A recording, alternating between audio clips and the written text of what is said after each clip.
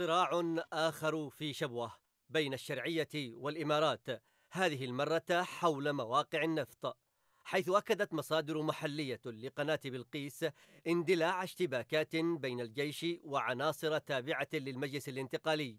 بدأت المواجهات بعد محاولات عناصر مسلحة تابعة للانتقالي التمركز حول خط النفط في منطقة المروحة شمال مدينة عتق وتمركزت الاشتباكات في منطقة النقعة بمديرية جردان.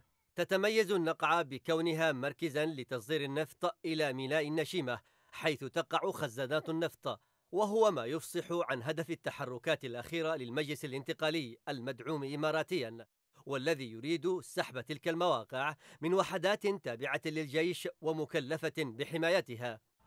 ليست هذه أول مرة يدور فيها صراع حول مراكز تصدير النفط بشبوة.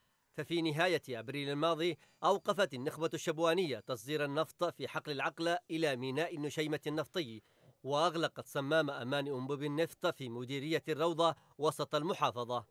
كانت الأجهزة الأمنية بالمحافظة قد ضبطت في فبراير الماضي عصابة مكلفة بمهمة نهب النفط من حقل أنبوب ينقل النفط الخام إلى منطقة النشيمة على ساحل البحر العربي. استانفت شبوة إنتاج النفط في مارس 2018 وتنتج قرابة 50 ألف برميل يوميا من ثلاثة حقول نفطية. وهو ما يفسر وفق مراقبين إصرار أبو ظبي التحكم بمصادر حقول النفط عبر دعم تشكيلاتها المسلحة للسيطرة عليها.